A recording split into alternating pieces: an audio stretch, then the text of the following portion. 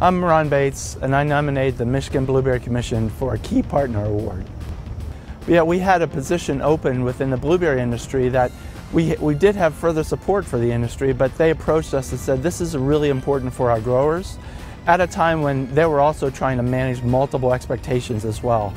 And so they worked with us to be able to provide 40% support for a position so that we could then use that justification, go to the university and be able to get that position open and be able to move that, uh, be able to fill that position, being able to provide support for both an extension position as well as startup support for a faculty position at a time when, with a relatively new commission,